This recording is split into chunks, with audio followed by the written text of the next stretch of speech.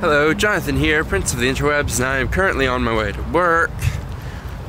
It's um, significantly colder out today, also wetter. I really don't like this bipolar weather that's like one day it's gonna be hot, one day it's gonna be really cold, and hot, cold. One, it causes rain. Two, it's cold.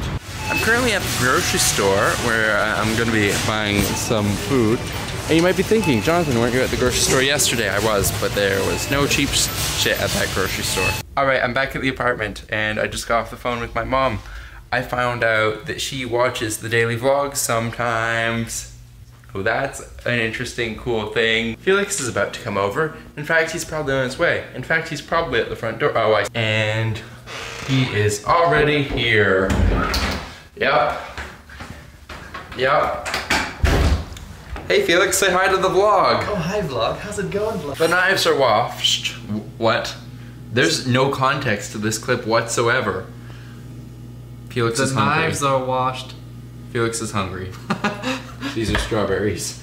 okay. He didn't tell me that he didn't eat anything. So Felix just left. Um, he was just stopping by after being around where I am. And um, now I'm going to do some exercise because I want to I did that yesterday. I did exercise yesterday. Didn't vlog about it, but I did. And, um, yeah. I want to continue doing this exercise. That was a really intense way of saying that. I'm gonna go to bed soon. Yeah. Um, first commenting on comments.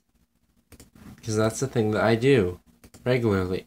You probably all know this. Ooh, painting kind poems? Wow.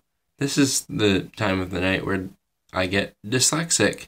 Um, cool. Painting's awesome. Ooh, feng shui. Okay, cool. And it was very anticlimactic. Thanks, Ada. Yeah, I know everything's gonna work out. Thank you, though. Pen status zero. Yeah, that's called going out of your comfort zone. That's when good things happen, usually. And Mano, yeah, I need to get server stuff I need to get my sh- my shit together when it comes to servers. Enjoy. Um, Pharaohcon is shortly after Vlogger Fair, not at the exact same time, but shortly after. I'm gonna go to bed now. Good night.